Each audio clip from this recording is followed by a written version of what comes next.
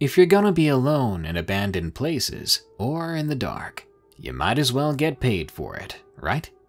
Well, sometimes even money isn't enough to endure the creatures, phantoms, and creeps that wait in the hollow corridors and dark hallways of a security guard's workplace. So let's see if you can survive the night with these allegedly true security guard horror stories. The first few are new, and some are a blast from the past. So enjoy, and be sure to share your scary experiences with me at darkstories.org. I'd love to hear stories from national forests, being lost in the woods, and werewolf sightings. Now, let's begin.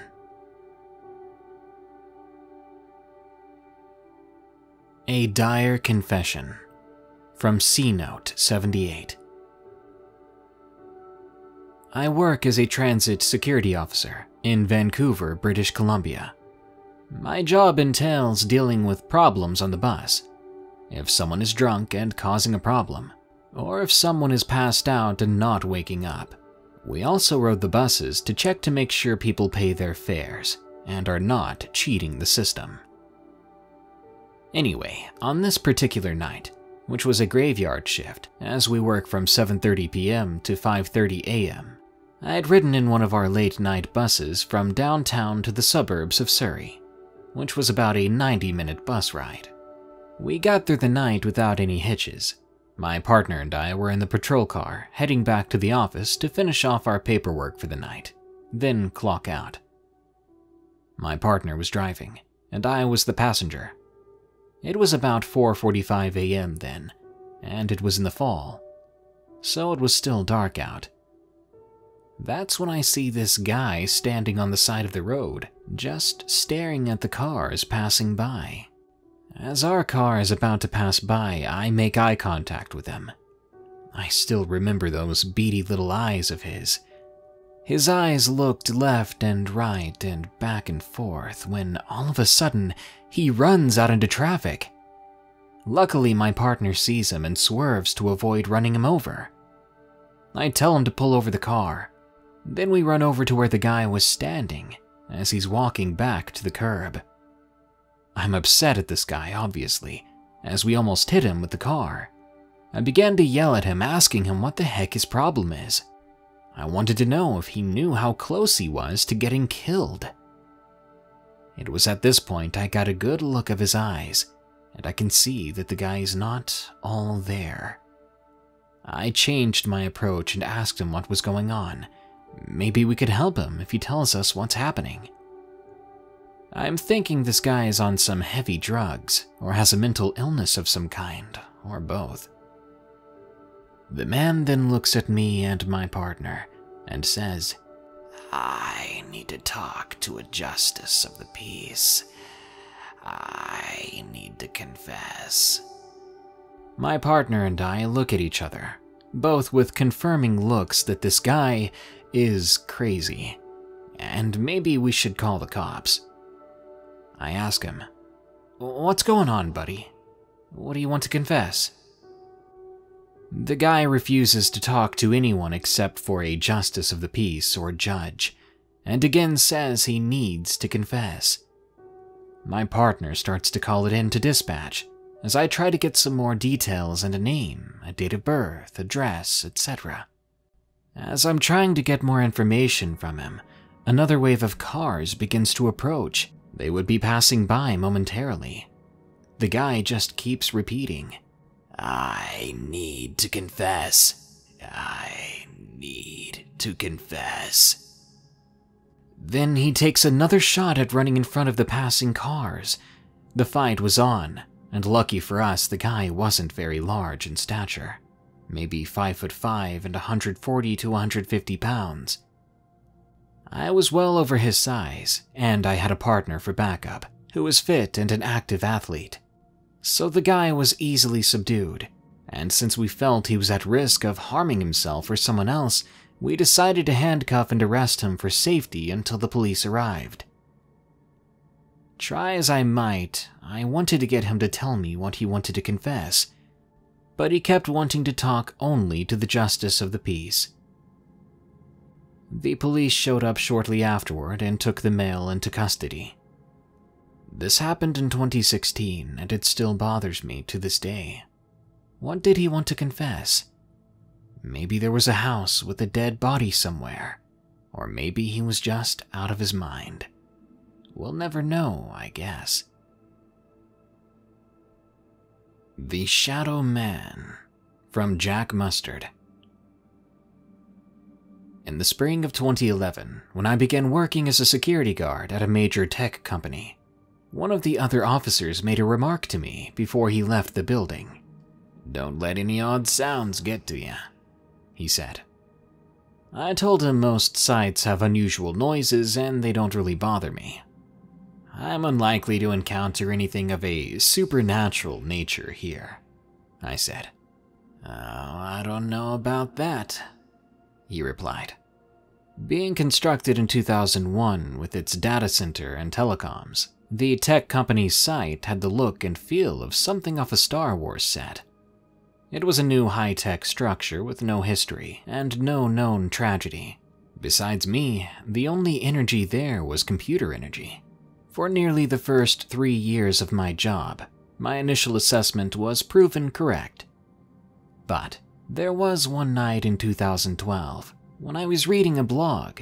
I caught a glimpse out of the corner of my eye of a pitch black figure flashing across the second floor.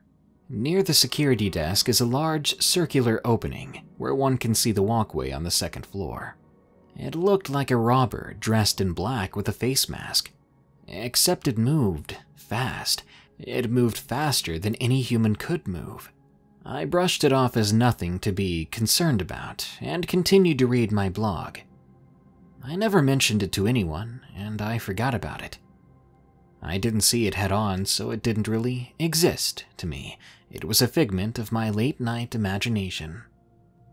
Fast forward about one year, on the 3 a.m. patrol, I had an encounter far more real and chilling than the previous one. During the hourly patrols, the four telecom rooms and the data center have to be checked to ensure the computers do not overheat. To reach one of the telecom rooms, one has to traverse a dark corridor, which opens into a dimly lit office area. As I came out of the corridor, in my peripheral vision to my right, I saw a black, translucent figure the figure stood approximately six feet tall. One could discern a head, neck, torso, and limbs, and it appeared to have short dreadlocks. I turned to look at it and actually saw it straight on for about two seconds. It was black, faceless, but definitely real. I jumped backward and let out what seemed to be a loud yell. No one could hear me. The shadowy figure stepped back and blended itself into the background. The atmosphere lightened and returned to normal. Needless to say, the main lights went on and stayed on early that morning. When the security supervisor relieved me that morning, I asked him if any tragedies had occurred in the building or near the site. I considered him a reliable source to ask, as he had worked at the tech company since its opening. He said that no one had died on site, and he didn't remember anyone with short dreadlocks ever working there. Could something have happened prior to the construction of the building? Further research into the history of the place turned up nothing. To this day, I'm still uncertain as to who or what the mysterious Shadow Man or Shadow Men were. The Night of the Creeps from 19 Delta Scout. College is a time of great paradox. You spend a good portion of your day in class, and if you want to pass your classes, you need to spend a good portion of your night studying. Oh, and if you do need money, you'll also need to find a job. And heaven forbid that girl who took you home from the party now thinks you two are a couple. It was a constant juggling act trying to balance school, study, work, girls, and sleep, because devoting too much time for one took away from the others. My parents weren't rich, so I didn't want to ask them for money, and I wasn't ready yet to join the military and let Uncle Sam pay for my college tuition. So I had to get a job. I thought I'd found the perfect job one which paid me fairly decently while allowing me to study and do homework at the same time. Yep, I became a security guard. It wasn't a bad gig. The site I was assigned to was an office building, which was located across the street to an FBI branch office in a low crime area of the city. I got there at 4 in the evening and escorted office workers to their cars until the building closed at 5. After 5, I would do a few security patrols around the building, letting the cleaning crew into the building at 8 in the evening and letting them out at midnight when my shift ended. In between that time, I was free to study and do homework from my desk inside the security office. I was basically on my own, and for six months at the site, I only saw my security supervisor four times. Like I said, it was a sweet gig. Then one Friday before my shift was to start, I got a call from the security supervisor asking me if I wouldn't mind working the graveyard shift for a few weeks out at a site located in what was known as the Great Dismal Swamp. The hours were from 11 at night to 6 in the morning, and because the site was so remote, the job would pay an additional $3 an hour. I quickly agreed. I could use that extra cash. Since I got off at 6 in the morning and my first class started at 9, I had plenty of time to get ready for school. I met my security supervisor at the main office at 11 that night, and once again I was not impressed by him, which is why I was happy that I rarely saw him.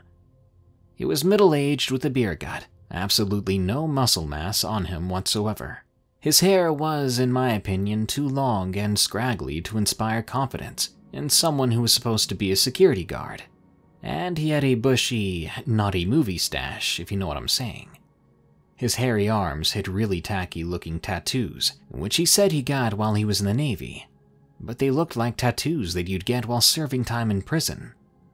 In fact, if it wasn't for the security badge and uniform that he wore, which was disheveled and unironed, his picture looked like it should have adorned the walls of the post office. When I met him, he was visibly drunk, and he smelled of alcohol. He told me to follow him, and he got into his old brown and primer gray Dodge Al Bundy looking mobile that had magnetic signs on the rust colored doors that read A1 Security Services. I got into my brand new Chevy Camaro, which I paid for during my senior year in high school, from money I saved working part time jobs since I was 15. I then followed him as he screeched out of the parking lot and onto the highway. It was a Friday night, and this being a huge military town, it was military payday. So the highway was packed, but traffic was moving quickly as we took the exit towards the city of Chesapeake, which was built on the Great Dismal Swamp. We were on the road for a good 45 minutes, going deeper and deeper into farm country, passing several rivers and streams. The traffic had all but vanished long ago, and the streetlights were few and far between. Still, we hadn't reached the site. I was seriously thinking that this guy was bringing me out here to kill me, dump my body into the swamp. A suspicion that got stronger when he turned off the main two lane road and onto a gravel road, which wound between the viney trees and weeping willows. The narrow road ended at a dilapidated parking lot, at the end of which stood what appeared to be an abandoned two story building. Behind the run-down looking building was a canal, which connected to the Elizabeth River. One tilted light pole holding two light bulbs, which flickered on and off, illuminated the parking lot. And aside from the old building with vines crawling up its sides, there was nothing else in the area, except dark, foreboding trees, swamp, and probably the ghosts of past security guards, which this guy took out here to kill. To my surprise, however, the creepy old abandoned building was well lit from the inside. Come on, kid, said my security supervisor. Let's get you inside. It's not good to stay outside here for long. Huh? I said. Mm, mm, nothing, he answered. As we continued walking, I saw several other run-down structures next to the building, though these were not illuminated and hung in the shadows. As we got closer to the building, I saw it had been vandalized, with several windows broken out and spray-painted graffiti on the walls. There was also a slightly foul smell in the air, like wet, rotting vegetation mixed with sweaty gym socks that were left inside your gym bag in the trunk of your car for a week. This used to be an old paper mill a few years back, said my security manager as he opened the door into the brightly lit main lobby. The door hadn't been locked. The mill went out of business and just sat here until it was bought by a Dutch company that wants to start it back up sometime next year. Till then, they want us to keep watch over the facility to discourage vandals and such. We walked down the main corridor, which was littered with broken glass, leaves, and more graffiti, past a broken set of double doors and towards a room at the end of the hallway. Doesn't look like there's been any vandals here for a while. I observed as our footsteps echoed across the tomb like building. Probably not, my supervisor replied. We got to the room at the end of the corridor, which ended up looking like an old boiler room with rusty pipes and gauges and whatnot. A large table stretched across the wall where windows looked out across the canal outside. Three old black padded chairs were at the table. Well, here we are, said my supervisor. Be careful when you do your roving patrols, as there may be some raccoons or other animals which have made this building their home. And watch out when you walk around outside for snakes and whatnot. Did you bring a flashlight? Uh, no, I replied. I wasn't told that I needed one. Hmm, okay, he said. Well, let me get out of here. If you run into trouble, just call 911, then call the night shift supervisor. Keep the lights on, and I'll see you in the morning. Uh, wait, I said. This seems like a pretty nice site. Peaceful, nobody to bug you, and you get paid extra? What's the catch? My supervisor looked annoyed. No catch, he said, leaving. Just can't get anyone to stay on the site. Roy, the new guy, quit this morning after his shift here ended. Really? I asked. But before I could say anything else, my supervisor added, Oh, one more thing. Ned's running late but I'll be here with you later. Remember, keep the lights on. He walked out before I could say anything else, and I can't say I was sorry to see him go. I looked around the boiler room and saw that there was a coffee pot and an old dirty microwave at the end of the table that I guessed the previous security guards had been using. There was also an old touch-tone phone that I assume I could call the police with if Jason Voorhees decided to rise out of the swamp and hack me to death. I figured I'd wait for a little bit and get settled in before going back out to my Camaro to get my schoolwork. If I finished my assignment tonight, I'd be free for the rest of the weekend to use my Camaro for what it was intended for to be a chick magnet. I sat on one of the rusty old black padded chairs and nearly fell over backwards as the back support was broken and gave out. The creaking noise seemed to echo down the hallway. I rolled it aside and tested another chair, finding that that one was fairly stable. I sat down and scanned the table some more. I found the security duty log from the night before that was on a clipboard. The report from the new guy, Roy, was still on it which meant that he never returned to the main office to turn it in. Apparently, he just hauled tail out of there this morning. Roy's printing was neat and tidy, all in block letters and easy to read. I wondered why he would just leave the log here when he knew he should have turned it in.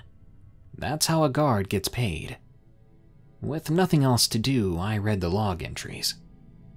Midnight, arrived on site, Security supervisor instructs me to ensure that the lights remain on in the building. Advised to call 911 if there's trouble. 0030 hours. Conduct security patrol around inside of building. Several lights flickering on and off in upstairs corridors. 0100. Lights in parking lot flickered on and off. Thought I saw movement outside. Went to investigate but found nothing. 0215. Lights in the security room have gone out. Lights in main hallway downstairs flickering on and off. going to look for breaker box. 0230. Cannot find breaker box, but I thought I saw someone outside looking through a window in the security room. Going to investigate. 0250. There's definitely someone outside. Called to the person, but when I got around to where he was standing, he was gone. The last entry was some time after that. I'm not sure what time it was exactly because Roy didn't write it down. However, Roy's handwriting was no longer neat and uniform, but shaky, almost as if he panicked. It simply said, All lights completely out. That's not a person looking into the window. I'm out of here. I tossed the clipboard back onto the table. So what? I thought. Did a badger scare you away? The lights in the room flickered for a second but came back on. I thought I saw something at the window out of the corner of my eye, but I dismissed it as a trick of the flickering lights. I leaned back in my chair, wondering when the other guard was supposed to be here. I usually worked by myself. I didn't know too many other guards. I'd heard the name Ned before, but usually as Old Bloody Ned. I wondered if that was the same guy.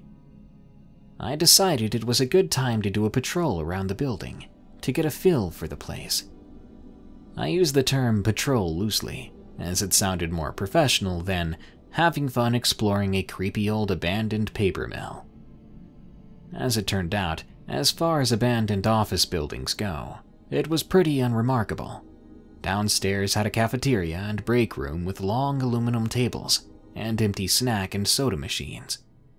There was a front office and a conference room with empty desks and filing cabinets filled with old invoices, shipping and receiving documents, and pay stubs. By the way, if you used to work for an old paper mill in Chesapeake that went out of business, you might want to know that they still have old pay documents that have your bank account info still on them inside old filing cabinets. Anyway, the upstairs had two halls lined with offices and a storeroom, which had cleaning supplies and a set of metal stairs, which led to the roof and the air conditioners. Dust and cobwebs covered the corners and walls, as well as shattered glass that hadn't been disturbed for ages. And aside from the lights flickering on and off occasionally, there really wasn't anything particularly spooky about the place. I then decided to go back out to my car to grab my school backpack and the dinner that I'd packed two double decker smoked ham and bologna sandwiches, with Swiss cheese and the right amount of spicy mustard and mayonnaise with a tall can of Pringles chips, and a couple of ice cold Red Bulls. This was going to be yummy, as I'd only eaten lunch about 12 hours earlier. I was famished. I returned to the boiler room, tossed my backpack to the side, and laid out my dinner, anxious to sink my teeth into those delicious sandwiches. I first wrote a quick entry into the security log 0130. Completed security patrol around building. Lights flickering occasionally, but otherwise all secure. Just as I turned to grab a sandwich, all the lights in the building went out. I sat there in pitch blackness for about two seconds, annoyed that I'd have to look for the breaker box when the lights flickered and came on dimly. The lights were flickering when I heard a shuffling noise coming from the main hallway. Slowly, I got up, easing the seat back quietly in order to hear better. Yeah, there definitely was something shambling down the hallway towards me. By then, the lights had come on completely again as I approached the door to the boiler room and opened it. I was quickly confronted by a terrifying apparition he was tall and skinny with a pot belly, pale, white, and old with long wisps of white hair dangling down from his wrinkled, liver spotted bald head. His nose and ears were large, and broken teeth lined his open mouth. The apparition stared at me through crazy looking eyes. You must be Ned, I said, reading the name on his dirty uniform. His uniform looked worse than my supervisor's and Ned smelled of cigarettes and alcohol. That's me, boy, said Ned, pushing past me and walking towards the table. Old Bloody Ned, they call me. Sorry I'm late. My son had to go pick me up after the bar closed so that I could get here. Ned slumped down on the seat I had been sitting in. He'd obviously worked this site before. Yeah, they sent me here to keep you company, boy. It appears all you young folks are too afraid to be out here in the swamps by yourselves. Oh, sandwiches. Ned picked up one of my delicious double decker smoked ham and bologna sandwiches with Swiss cheese and just the right amount of spicy mustard and mayonnaise and began chomping down on it. Hey, that's my din. You know why this place chases off so many people? said Ned, ignoring me. Because of you? I said, slumping down on the broken chair. Don't mess with me, boy, retorted Ned, chunks of bread flying out of his mouth as he spoke. I swear kids today have no class. No, boy. Take a look out the window. Across the canal. You see all them trees out there? Uh, nope. I see the reflection of some old guy eating my dinner in the window and a whole lot of black night. Dang it, boy. Well, if you could see out there, back behind them trees is an Indian graveyard. Back before the white man came, this land used to belong to the Chesapeake Indians. That's me, boy. I'm part Chesapeake Indian. Okay. Assuming that you're telling me the truth, the canal is pretty wide, and the trees are far across the bank. That would put the graveyard pretty far from here. They moved the markers, but they left the bodies here, boy. Here, right where they built this paper mill. They say it went bankrupt because they angered the spirits of my ancestors. I rolled my eyes at this drunken old creep. Like in that movie? Hmm, what movie? He said, now opening my can of Pringles. That movie where they moved the headstones but left the bodies, and that little girl got sucked into the TV, and then a stuffed clown tried to drag that little boy under the bed. Ned looked at me questioningly. Are you on drugs, boy? Exasperated, I grabbed my other sandwich and my Red Bulls, then rolled the chair to the far end of the table where I'd thrown my backpack. At least I could get some schoolwork done. I took out one of my extremely overpriced textbooks and turned my back on Ned. I tried to get in the zone to do some homework. You afraid of blood, boy? said Ned. Because I can't stand boys who are afraid of blood. I always say you don't deserve to call yourself a man if you're afraid of blood. Heck, you may not deserve to live if you're afraid of blood. I slowly turned, now determined to keep an eye on this insane old man. Uh, no, I don't really spend too much time obsessing about blood, Ned. That's the problem with you young kids these days. All weak and pathetic. I was in Vietnam, boy. We rolled around in blood and guts every day. Blood, boy. Buckets and buckets of blood. My father did two tours of duty in Vietnam. He was with the Marines, and he never talked about rolling around in buckets of blood. Bah, Ned exclaimed, waving his hands dismissively. Blood isn't death, blood is life.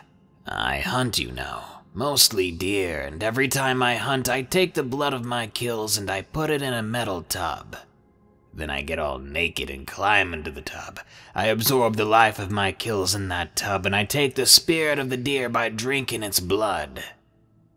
Well, I'm not hungry, ever again, I said, pushing my sandwich towards Bloody Ned.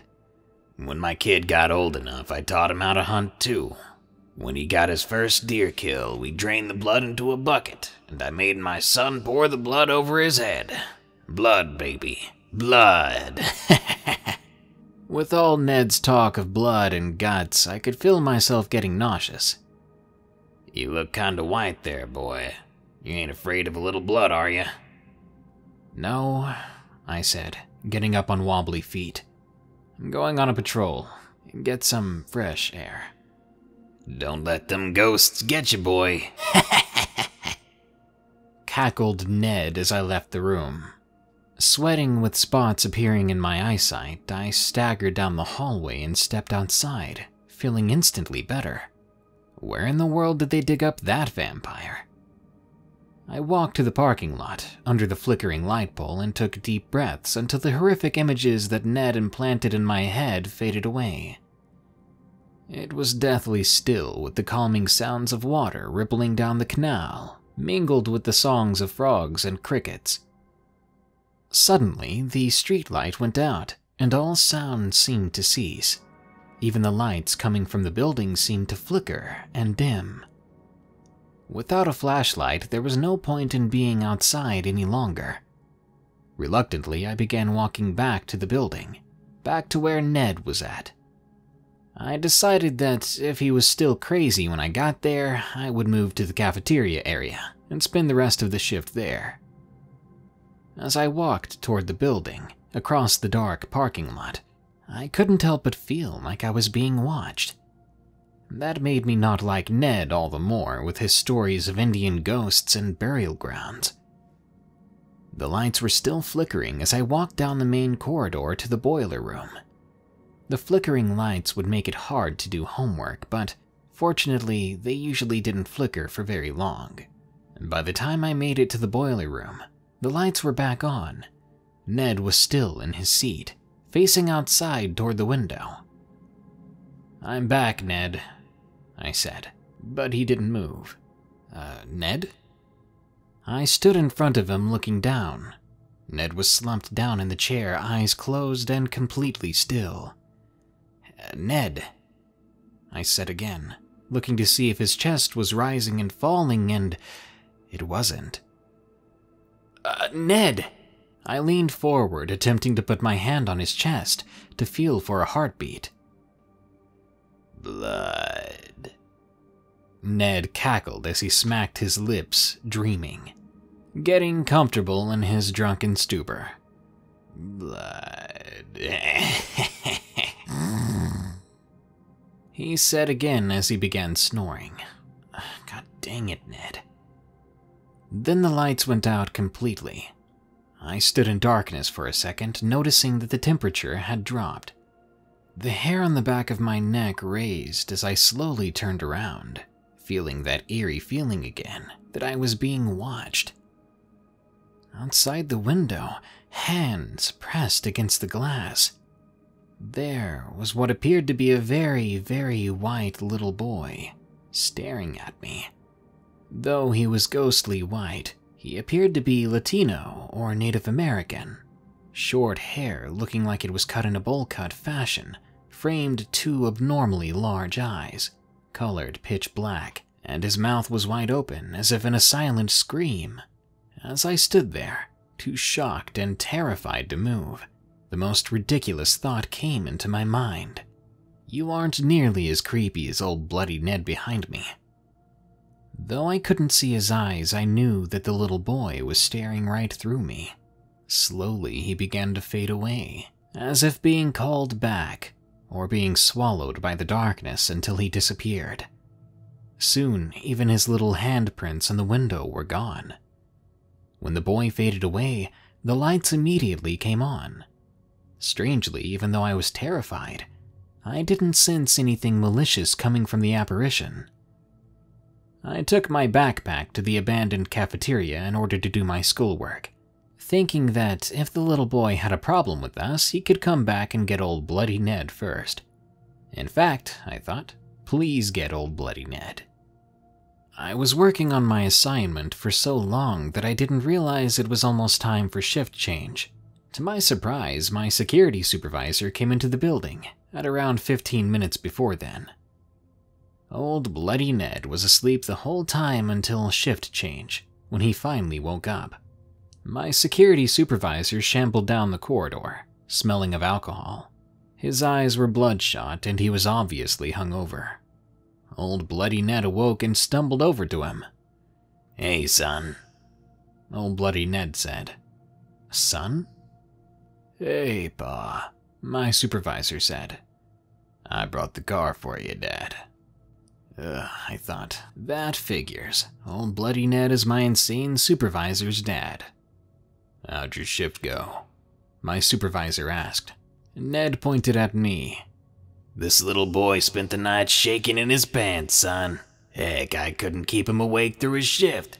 He's a freaking coward. My supervisor looked at me with disdain. Boy, you're a pathetic sack of lazy crap, ain't you? Uh, not really, I said. Old Bloody Ned got into the old rusty Dodge and drove away, saying, I'll be back to pick you up at one o'clock. As Ned drove away, I turned to my supervisor. Hey, man, I have a suggestion. My supervisor rolled his eyes. What do you want, you cowardly little college boy? I let his remark slide off me as I said, Look, this is a pretty easy site. During the graveyard shift, there doesn't need to be two people here. When I come back tonight, Ned shouldn't be here. The Rat, submitted by Soli Americus.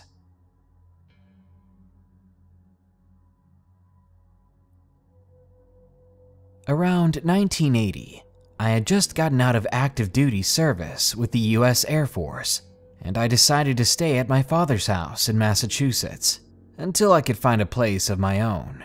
It wasn't easy trying to find a job, but soon I landed a security guard position with a big security company. This company had a contract to provide service for a big electronics manufacturer about 20 miles from my father's place. I had left the military with an honorable discharge and an old beat up Chevy Nova and little else to my name, so I really needed the job. I drove my old car to the electronics company, where they gave me a baggy uniform and a big flashlight.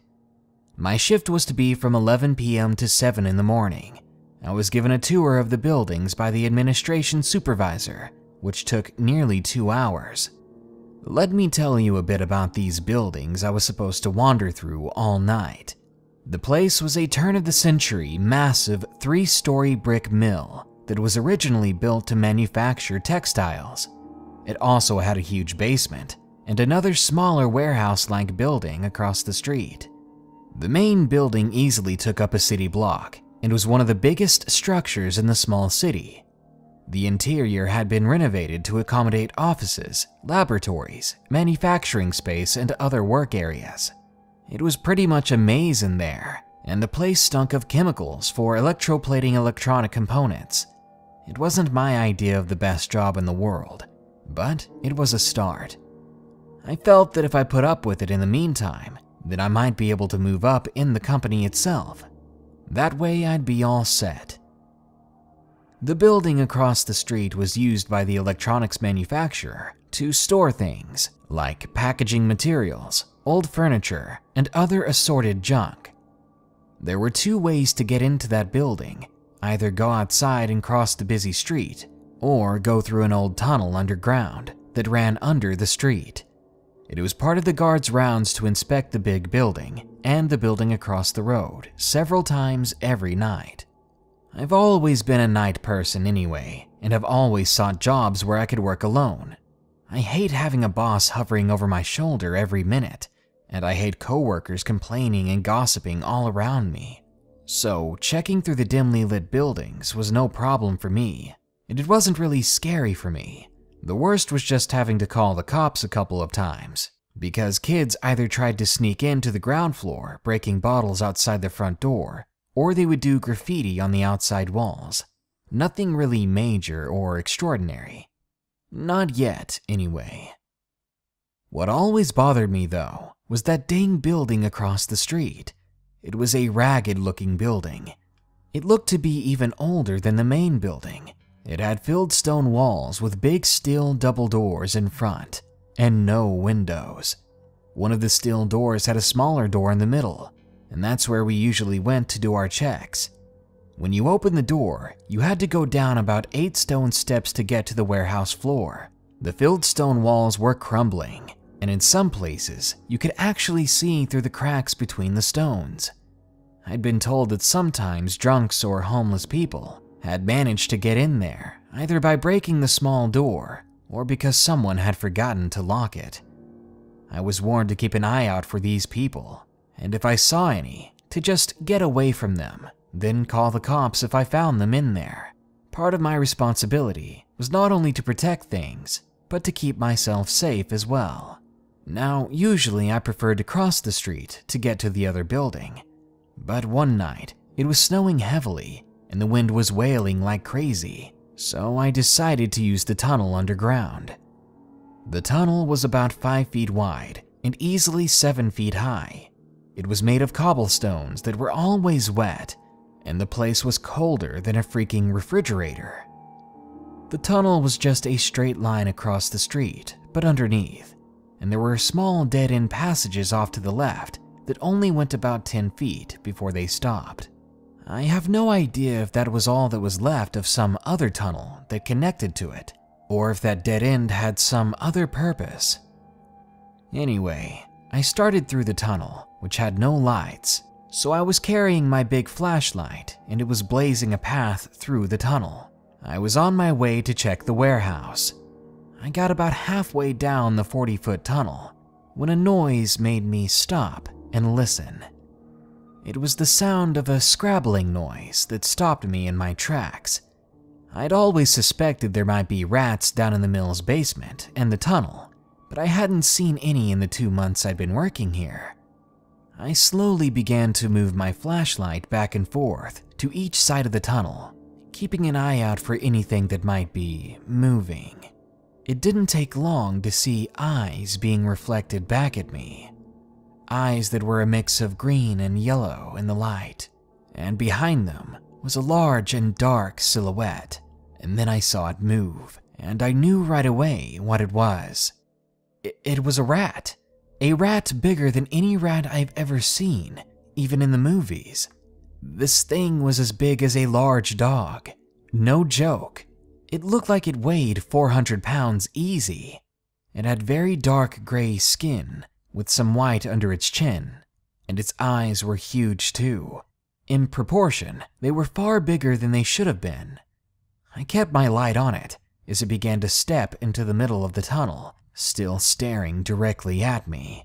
Now, I'm 5 foot 8 and I was raised near a swamp. I've seen my fair share of rats, but this was a completely different beast, and I mean that literally.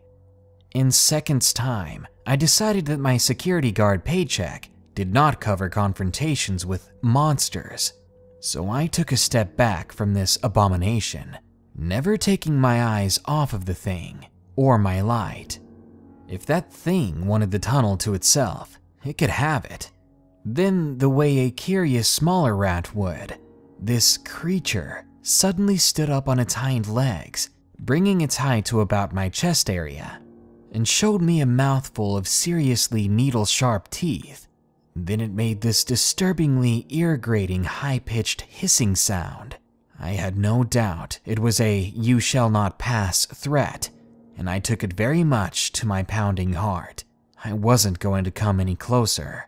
Slowly, I was backing up, never letting the creature out of my sight, until my back touched the tunnel door into the main building and in one quick motion, I was out of there. Luckily, that evil thing just stood there the whole time, watching me retreat. The only mention I made of this confrontation was to the afternoon guard I relieved when I came on the next night. I was curious and a bit disturbed, so I just asked him if he had ever seen any rats in the tunnel. He said he didn't like going through the tunnel, so he never used it. Then he made a joke about being afraid of rats, and I just shrugged it off. So I decided I would avoid using that tunnel as well. I didn't want to risk running into that thing again. Only a few days later, this same guard was doing his last round, around 11 p.m. He went across the street to check the warehouse. He discovered that the small door that we used for entry was broken open, but being the brave fellow he was, he decided to go in anyway to check it out. He told me that he went down the stairs and took a few steps across the floor. He saw what he thought looked like a man lying on his side on the floor, with his face turned away from him. The guard, of course, assumed that it was just another drunk or homeless man because the man appeared to be dressed in dirty old clothes. Then he heard a strange crunching, sticky noise, as he called it, and he took a step forward to the man on the floor to see what he was doing to make that noise. As the guard approached, he said a massive rat, bigger than a dog, stood up from behind the man's body. It stood on its hind legs and jumped over the man, charging the guard right away, knocking the flashlight out of his hand and biting him straight through his glove. The guard screamed and said he threw the beast off of him and stumbled up the stairs and out the door, slamming it shut behind him. He ran back across the street to call the cops and an ambulance. I arrived just as the ambulance was leaving, so I never saw the man my coworker had found on the floor, but I was told he was all right. He had just passed out drunk on the floor. The rat had found him and began chewing on his hands and fingers. It apparently started on his face and neck as well. He had permanent scarring from the event. I'm just glad that I wasn't the one who had to see it. The man was pretty messed up after that event, and my coworker quit the next day. And of course, went to get anti rabies and vaccine shots. I can't say I blame him. That would be enough to chase me away as well. In fact, I didn't stay there very long afterwards, and I moved to another state for a better job. A few years later, my brother, who had worked with explosives while in the army, told me that he got a job at the same mill, the mill where I met the monstrous rat. The electronics manufacturer was no longer there, and the new owners wanted the first floor removed to make a high space for some other kind of business. My brother set explosives and dropped the first floor into the basement in what I was told was a pretty spectacular show. A few minutes after the floor went down, my brother told me he heard what sounded like gunshots, so he went to the corner of the building to look down the alleyway to see what was going on. There were two cops down there, my brother said, who were part of a detail to keep people away during the demolition. Their guns were drawn and smoking. They were aiming towards an open bulkhead door into the basement. My brother asked them what the heck just happened, and one of the cops shrieked at him, saying some freaking nightmare of a giant rat had started coming out of that door, and they shot at it. My brother went to look, but he couldn't find any such rat.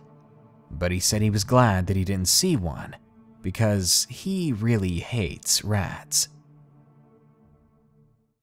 Night Shift Security Guard, submitted by Aaron.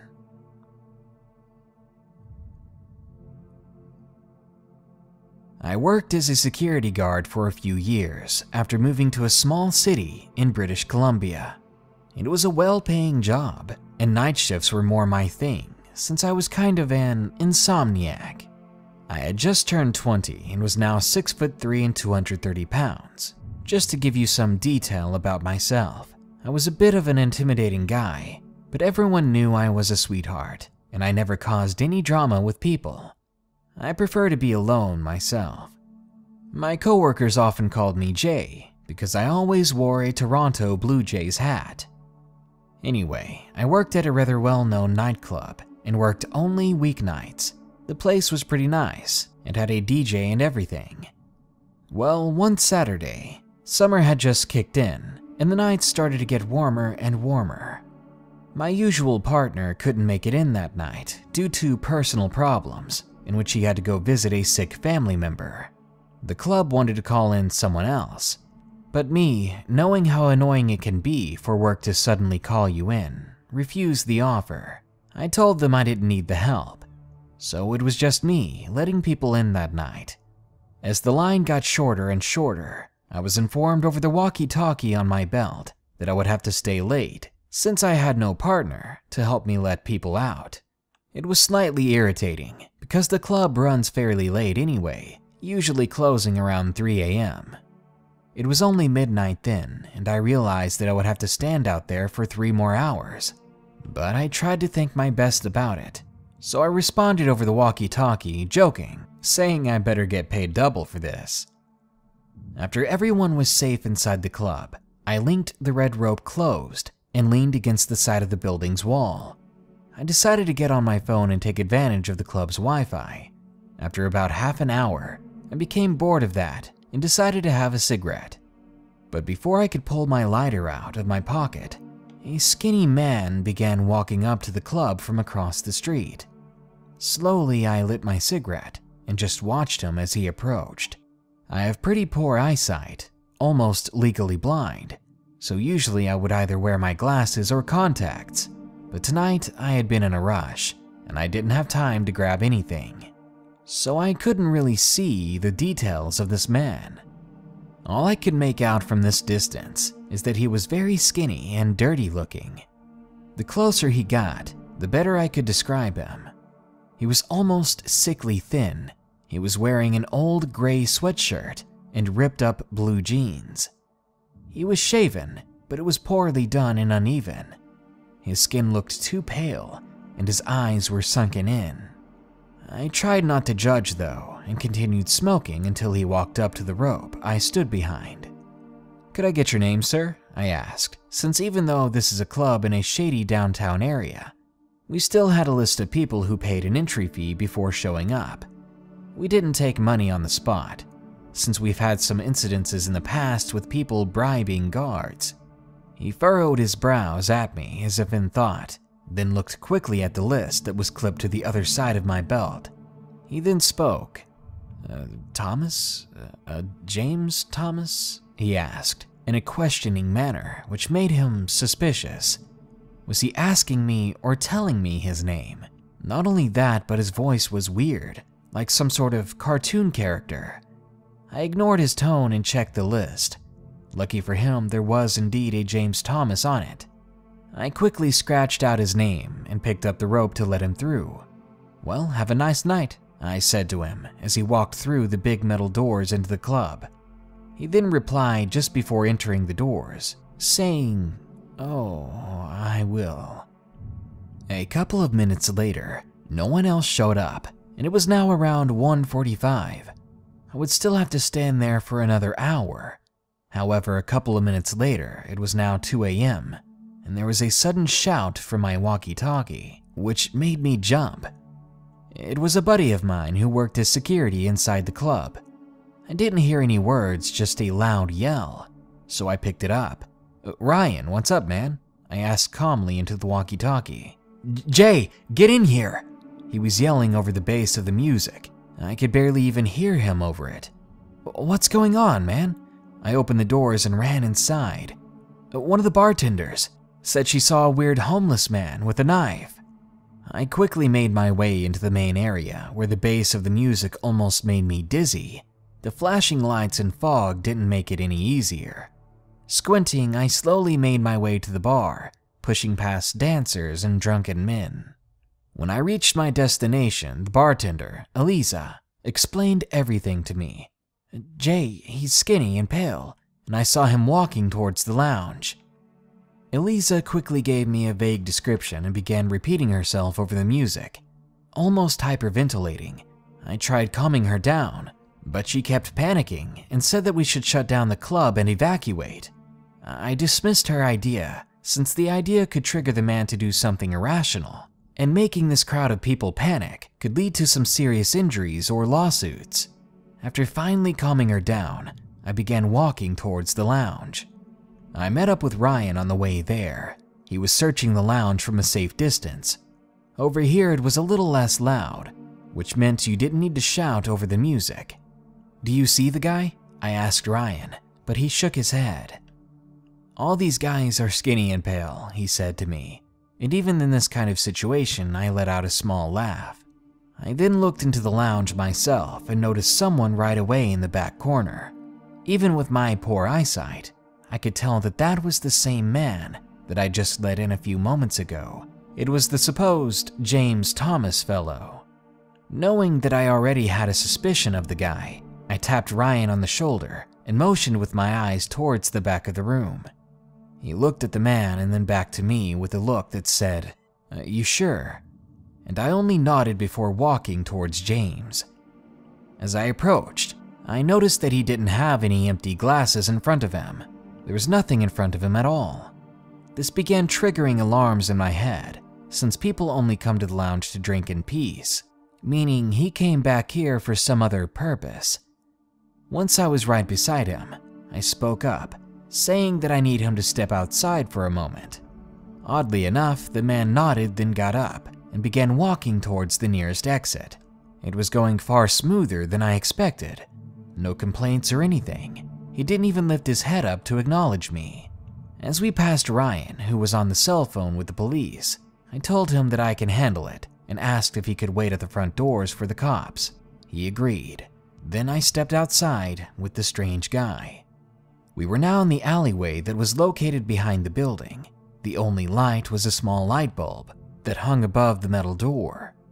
As soon as the exit door closed, the man reached for something, and I asked if he would keep his hands behind his back until the police arrived. But he kept reaching, and as I advanced towards him, he suddenly pulled out a knife. It wasn't huge, but it could do some damage if he knew how to use it. In a quick motion, one that I barely saw coming, he took a swipe at me with it, cutting open my chest, but luckily I had jumped back, so it was nothing more than a scrape. Now I was mad. So I grabbed his arm and disarmed him, and I pushed him to the ground. When he hit the ground, he began laughing, laughing while desperately reaching for his knife, which was now laying about three feet away. He just kept laughing, high pitched and loud. And then he began to curse me, saying that he'll gut me like a fish and slit everyone's throats. This guy wasn't on drugs, he was just insane, and he really did want to hurt someone, just for the simple sake of hurting people. Soon, the sirens and police cars made their way down the alleyway, I let out a sigh of relief as I recognized the officer, who was another friend of mine, so he could tell right away that I wasn't the dangerous one here.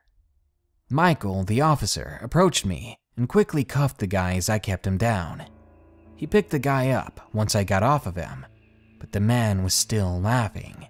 As Michael stuffed him in the back of the cruiser, the man yelled out, Stupid guard, you're the one who let me in. It was all on you. Which he was right. I did let him in. I didn't bother patting him down, I just let him stroll on in. I immediately cursed myself for being so careless. Michael and I made our way back to the front of the club. He took the car while I quickly walked to the entrance. As I rounded the corner, I watched as an ambulance passed by with its sirens on. As Michael once again exited the police car, I asked in a panic if anyone had gotten hurt. He nodded and told me that a man just three blocks down the road had been knifed 30 times. I gasped. I asked for the man's name in curiosity, and Michael told me. James Thomas, I think. Why do you ask? I froze there, and Michael obviously noticed this. I slowly turned to face his vehicle and noticed that the man inside, who I thought was James, began laughing and shouting at me. He was taunting and threatening me. I told Michael everything, and he quickly notified everyone and made his way back to his cruiser and back to the station. Another officer told me that I might need to be a witness in a court trial, but luckily for me, I never had to attend. The incident caused me to take a few months off my job. I didn't quit, since I did love that job. I wasn't going to let one bad experience ruin everything for me. The club doubled its security and made it mandatory for outside guards to use a hand metal detector. The whole thing did shake me up pretty bad, and it's kind of been burned into my head. I let a deranged man inside a populated club with hundreds of easy targets. Luckily, no, the only man that was attacked miraculously covered fully. But still, that crazy man could have injured a lot more people in the club and I'm just glad Eliza was able to spot him, because if she didn't, this club would have never been the same, and it would have been all my fault. Security Officer, submitted by Jaden.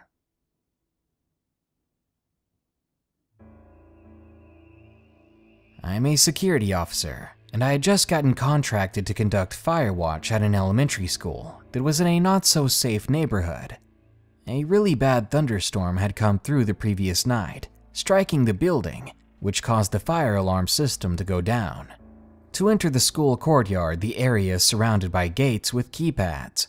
The new supervisor needed to conduct a walkthrough with me at the beginning of the shift. I didn't really know the layout of the building, so coming up on a corner, I wanted to check it for any doors. My supervisor stopped me from checking, saying she needed to walk me through the rest of the courtyard and the perimeters, so I gave up and didn't argue, as me and the supervisor in question usually never see eye to eye on anything. An hour later, when conducting my patrol, I found a side access gate that could only be opened from the inside if you didn't have a key. The thing was, the access gate had been left open and was just hanging there. Without thinking anything of it, I just closed it myself, then went about my patrol as usual, not finding anyone at the time. However, a few hours later, around midnight, I had to go to the bathroom thanks to some Red Bull and coffee. So I entered the courtyard to go use the one single person restroom that was left for us to use. After doing my thing, I slowly opened the bathroom door, only to see some skinny man who looked tweaked out of his mind, holding a knife. The man was twitching and shaking all over, his eyes darting in every direction all at once. He looked like he was about to explode. He was wandering the courtyard inside the gate. I don't know what he was looking for, but he was definitely looking for something or someone. Then he began to scratch his chest with the knife. The moment I saw this scene, I shut the bathroom door and locked myself in, immediately calling the cops. But the man had seen me, and before I knew it, he was banging on the door, yelling in a delirious voice that he needed me to open the door, or he would do the worst kind of things to me slow and painful things. Then I jumped back because he began to rake the blade of the knife under the door. That was the longest 20 minutes of my life. The cops finally showed up, but the man had left moments ago. Still, I waited for the cops to arrive, not ready to take any chances. The police conducted a search of the area, and unfortunately at the time, they weren't able to find the suspect. I didn't have much to give the cops to go on, as I only saw the creep briefly before locking myself back in the restroom for safety. Lucky for me, the thunderstorms from the previous night didn't take out the school's security cameras. However, due to the budget cuts, the cameras weren't manned 24 7. Still, the odds stacked against us. The man was caught the following day after the school district pulled the security tapes. The tapes showed that he had entered from the same side gate, the same gate that I'd found hanging wide open hours earlier. Long story short, I refused to cover any more shifts at the school, only for as long as we had fire watch duty. I'm still a security officer, but I'm going to do anything I can to be better protected, just in case there's a next time.